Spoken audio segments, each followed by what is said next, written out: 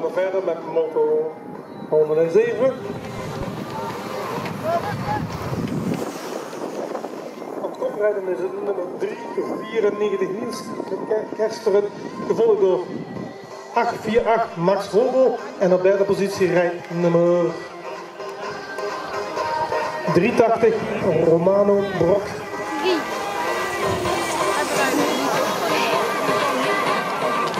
Als eerste richting finish is het nummer 394 Niels Kerst.